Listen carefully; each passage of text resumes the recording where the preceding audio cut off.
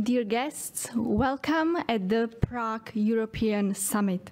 My name is uh, Aneta Zachová and I am editor-in-chief of Euractiv uh, Czech Republic and I am very happy that I can be your guide throughout the program of this year of Prague European Summit.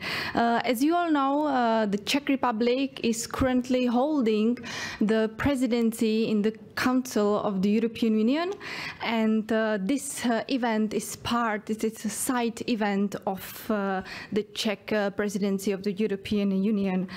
of course, these days there are many events taking place in Prague or in Brussels that are somehow related to the Czech Republic, but what I want to say is that Prague uh, European Summit is uh, somehow special.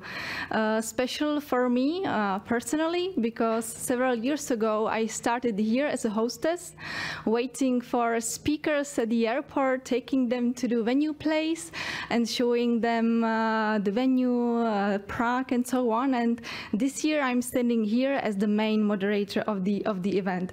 Uh, but of course, the mean like this uh, special feeling about the Prague European Summit is not only my personal, but I hope that all of you have the similar feelings.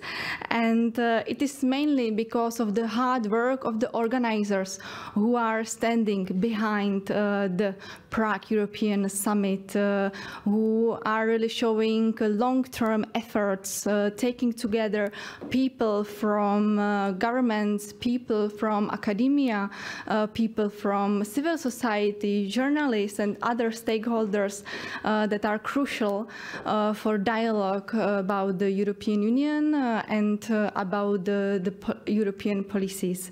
and as we all know, during these times when we have a terrible war on the European continent, dialogue is, I think, more needed than in previous previous days. so um, I would like to tell you something more about the organization of uh, this uh, Prague European Summit.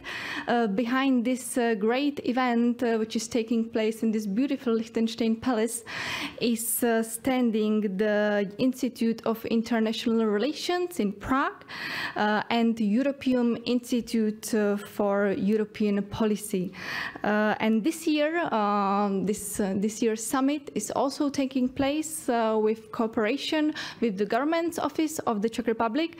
Uh, thanks to the government, uh, the event can take place here in Liechtenstein Palace with this wonderful view, uh, river view and Charles Bridge view. So we are very thankful for the government of the Czech Republic that they provided us with this, this venue. now we will start with the official program of the Prague European Summit. before we start with the words of welcome, and the first uh, panel discussion.